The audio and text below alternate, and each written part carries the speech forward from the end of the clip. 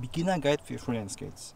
Beide Freelance Skates müssen parallel sein. Die müssen zu euch zeigen. Ich fahre links rum, das heißt mit dem linken Fuß zuerst. Für die in die Richtung fahren, mit dem rechten Fuß in die Richtung. Ich gebe dem erstmal ein Gefühl, mit dem Fuß ein Gefühl, wie fühlen sich die an.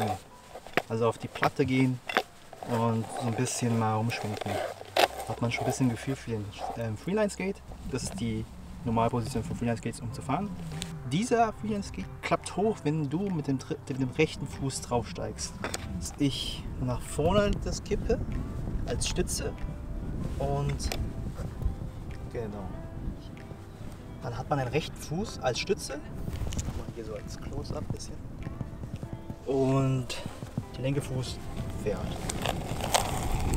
So sieht ein normaler Schritt aus.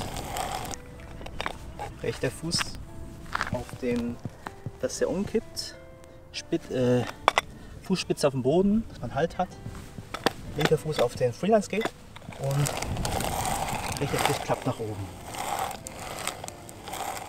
Dann hat man schon einen guten Start.